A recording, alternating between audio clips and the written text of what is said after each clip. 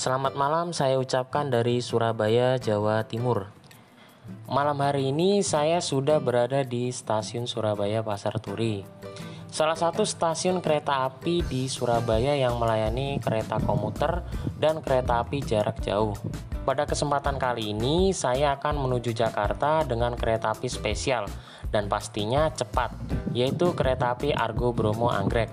Perlu diketahui ya teman-teman, video ini tayang pada saat kereta api Argo Bromo Anggrek sudah menggunakan rangkaian terbarunya, yaitu Executive New Generation. Sedangkan untuk rangkaian yang saat ini dilimpahkan ke kereta api Sembrani ya teman-teman, yang sama-sama memiliki relasi Surabaya ke Jakarta. Dan pada saat ini kereta api Sembrani juga sudah memakai rangkaian stainless steel dari kereta api Argo Bromo Anggrek teman-teman. Stasiun Surabaya Pasar Turi merupakan stasiun yang melayani dengan keberangkatan kereta api komuter dan kereta api jarak jauh. Stasiun Surabaya Pasar Turi melayani banyak keberangkatan kereta api jarak jauh, mulai ke Jakarta, Bandung, Malang, Jember, bahkan hingga ke Tapang, yaitu dengan hadirnya kembali kereta api Mutiara Timur baru-baru ini. Oh iya, sebelumnya untuk di stasiun Surabaya ini ada tiga stasiun yang melayani kereta api jarak jauh dan menengah, yaitu ada stasiun Surabaya Pasar Turi, Surabaya Kota, dan Surabaya Gubeng. Nah, kalau di stasiun Surabaya Kota, selain melayani kereta komuter, juga ada kereta api yang berhenti di stasiun Surabaya Kota, yaitu kereta api Sri Tanjung dari Lempuyangan menuju Jember maupun sebaliknya. Nah, kalau di stasiun Surabaya Kota, selain melayani kereta komuter, juga ada kereta api yang berhenti di stasiun Surabaya Kota, yaitu kereta api Sri Tanjung, dari Lempuyangan menuju Jember hingga ke Tapang maupun sebaliknya.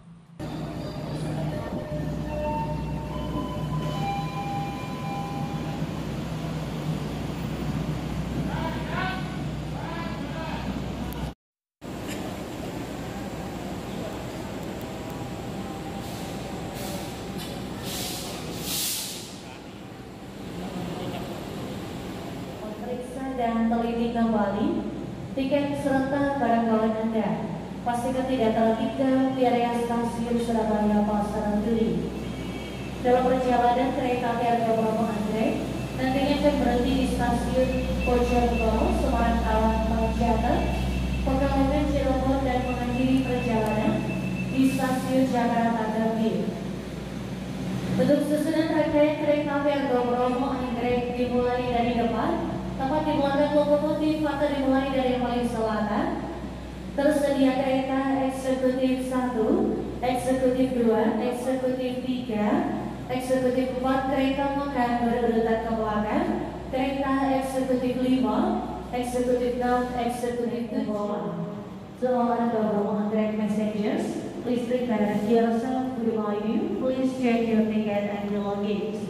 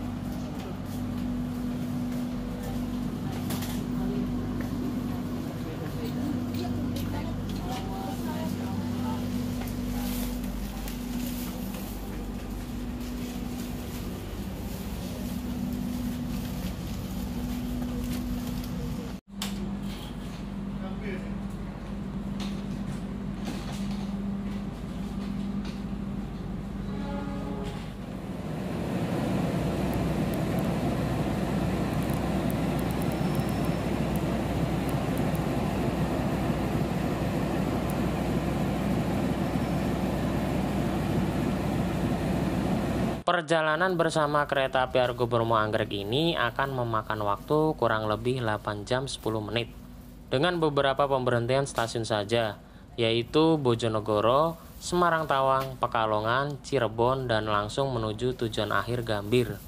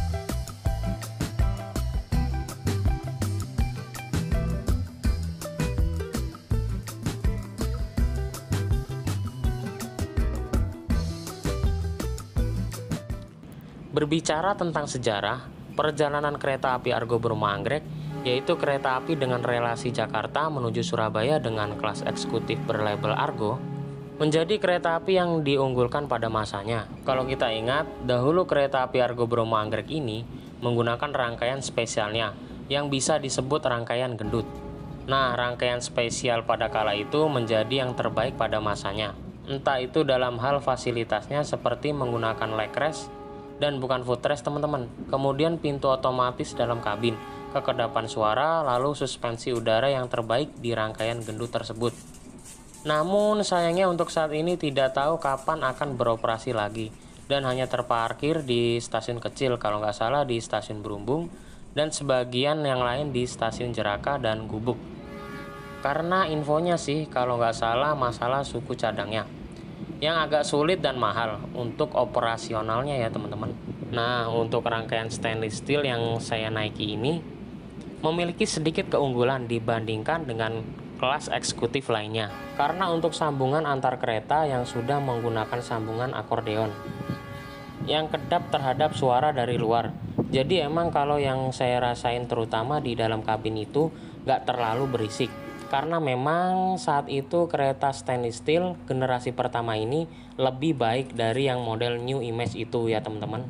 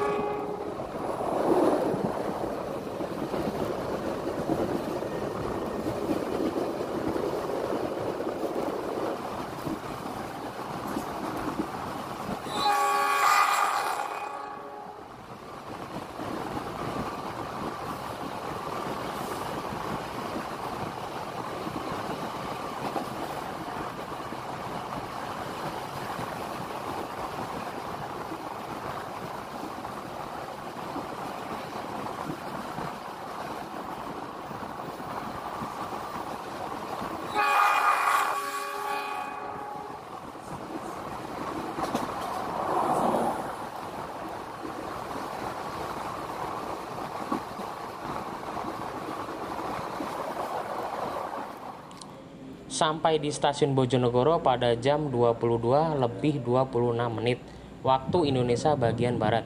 Di Bojonegoro ini banyak pekerja industri migas. Jadi untuk sekelas Argo seperti Argo Bromo Anggrek ini berhenti di stasiun Bojonegoro. Karena okupansinya juga cukup bagus ya teman-teman. Apalagi kalau kereta ini menjadi salah satu yang tercepat di jalurnya.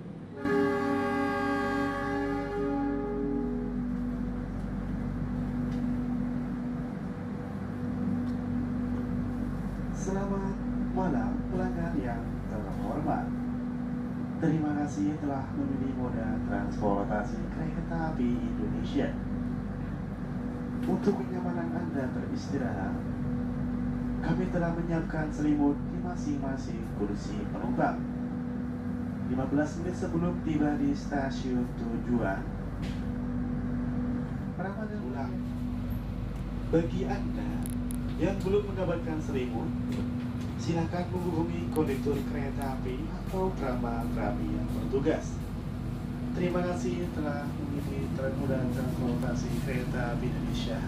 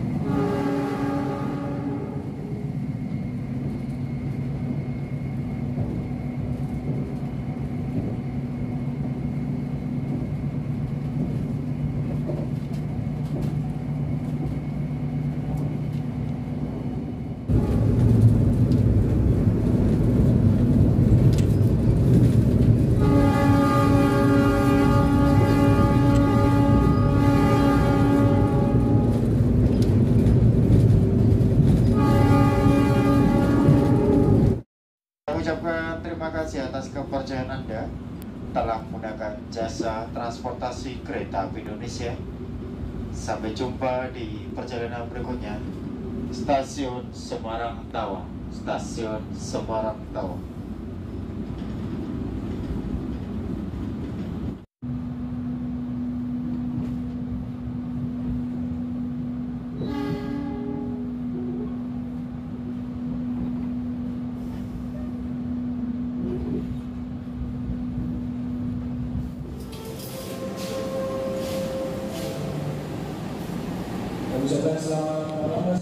Tiba di stasiun Semarang Tawang pada jam 00 lebih 23 menit waktu Indonesia bagian Barat. Stasiun Semarang Tawang menjadi pemberhentian kedua bagi kereta api Argo Bromo Anggrek. Sebagai stasiun lintasan, stasiun Semarang Tawang juga nggak kalah ramai dengan Yogyakarta. Karena frekuensi perjalanan dari dan menuju Semarang ini keretanya cukup banyak ya teman-teman.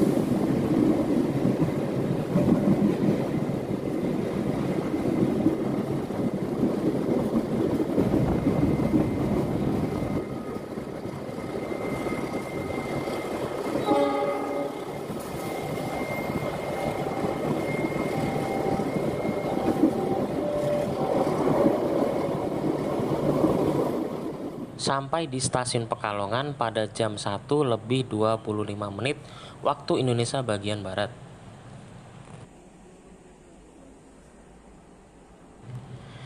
Kereta api Argo Bromo Anggrek berhenti reguler di stasiun Pekalongan. Kereta api Argo Bromo Anggrek telah berangkat dari stasiun Pekalongan pada jam 1 lebih 28 menit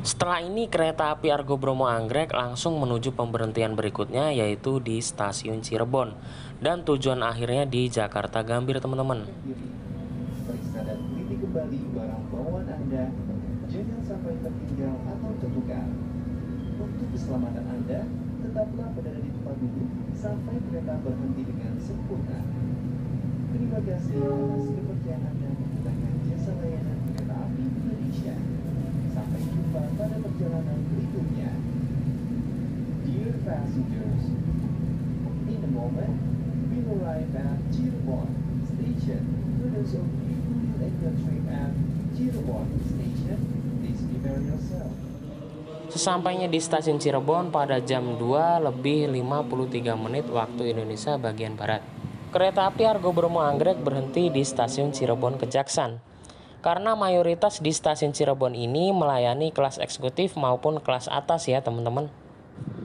Selain itu juga ada stasiun Cirebon Perujakan. Tepatnya kalau dari arah Semarang atau Purwokerto, kita akan melewati dulu stasiun Cirebon Perujakan. Nah, stasiun Cirebon Perujakan itu melayani mayoritas kereta api dengan kelas ekonomi dan sebagian kelas campuran, teman-teman.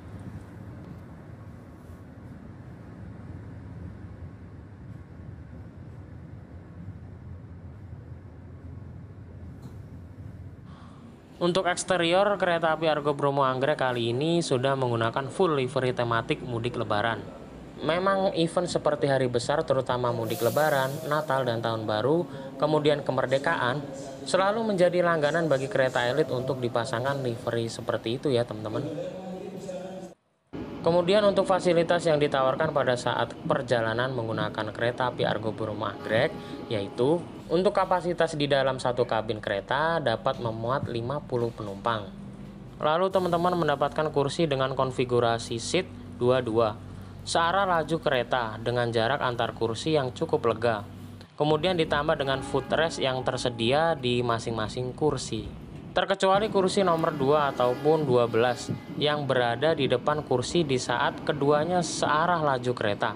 Itu ada yang tidak mendapatkan footrest dan tidak disarankan buat teman-teman ambil kursi ini ya. Lalu di setiap kursi sudah bisa di reclining yang tombolnya sudah ada di masing-masing pojok kiri maupun sebelah kanan yang berupa tombol. Nah, nanti tombolnya ditekan sembari merebahkan badan ke belakang. Dan untuk posisi full rebahnya seperti ini ya teman-teman. Cukup nyaman kalau untuk istirahat di posisi tinggi badan antara 160 hingga 167 cm. Dan untuk di atas itu saya rasa nyaman-nyaman saja ya teman-teman.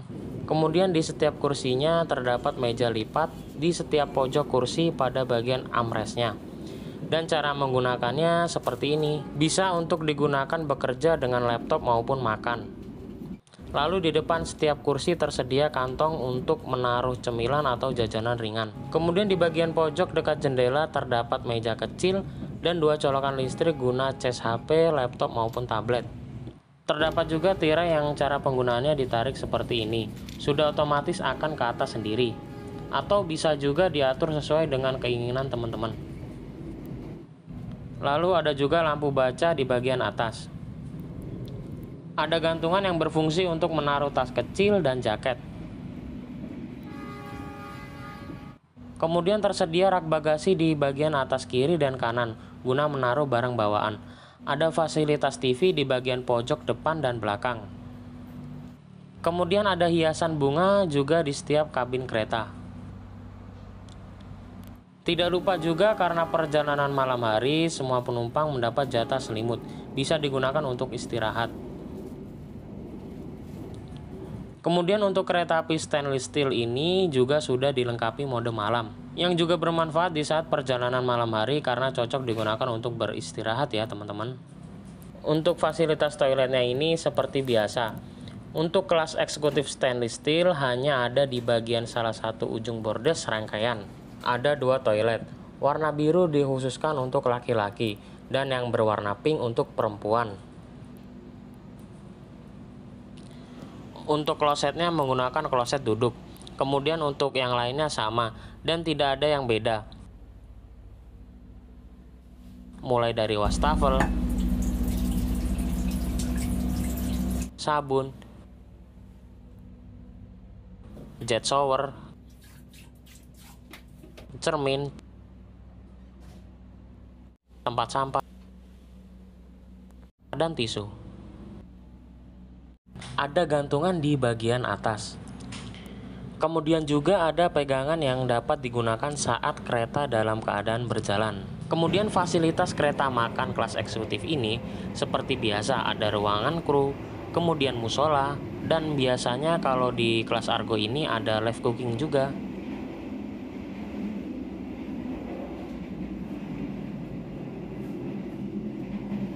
Untuk kursi di kereta makan Argo Bromo Anggrek yang masih stainless steel generasi pertama ini, seperti kereta yang lainnya kursinya sama. Dan di sebelah sana ada juga ruangan kru restorasi yang siap melayani jika teman-teman kuliner di kereta makan. Saat ini saya sudah memesan menu sahur. Kali ini hanya tinggal tersedia nasi rendang padang. Tentunya ini frozen food ya teman-teman. Untuk harganya 40.000 sudah dapat daging rendang, kemudian sambal goreng kentang, lalu ada sambal hijau dan daun singkong. Nah, sedikit info lagi nih. Kalau bisa teman-teman pesan dulu aja ke kru yang bertugas, entah itu sahur maupun berbuka.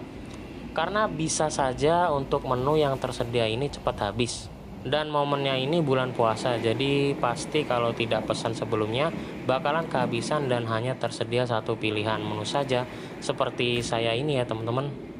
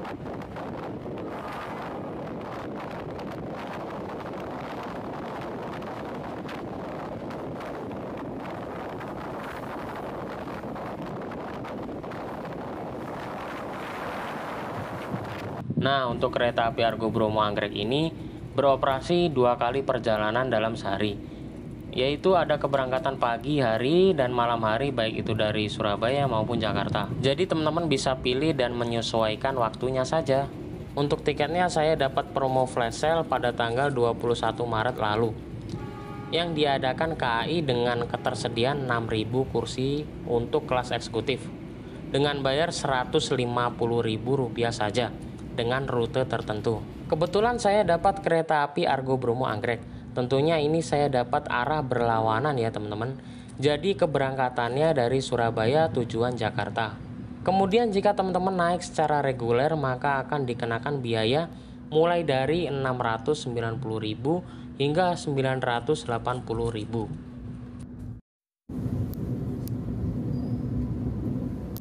Stasiun Jatinegara melintas langsung pelanggan dilarang membuka pintu. Utamakan keselamatan diri Anda. Stasiun Jatinegara melintas langsung.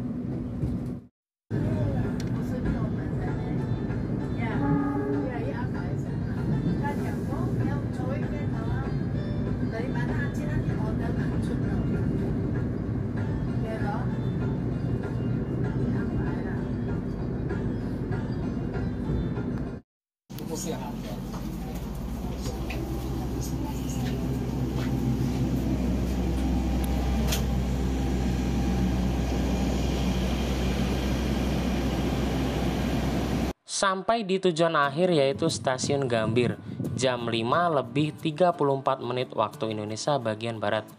Terlambat sekitar 14 menit dari jadwal seharusnya. Akhirnya kereta api Argo Bromo Anggrek ini tiba di Jakarta. 8 jam lebih 14 menit. Kalau bisa dibilang perjalanan saya dari Surabaya menuju ke Jakarta dengan kereta api Argo Bromo Anggrek. Tentunya kereta ini bisa menjadi rekomendasi teman-teman buat mudik atau berlibur ke Surabaya ataupun Jakarta karena selain waktu yang cepat dan juga nyaman selama perjalanan. Sampai di sini video kali ini semoga bermanfaat dan jadi referensi perjalanan buat teman-teman. Kalau cari waktu tempuh yang cepat sampai dari Surabaya ke Jakarta ataupun sebaliknya. Terima kasih kepada kru yang bertugas selama perjalanan dan juga teman-teman yang sudah menonton tayangan video ini dari awal hingga akhir. Jangan lupa like, share, dan subscribe. Juga tinggalkan komentar yang membangun agar channel ini berkembang dan update seputar perjalanan dengan transportasi umum.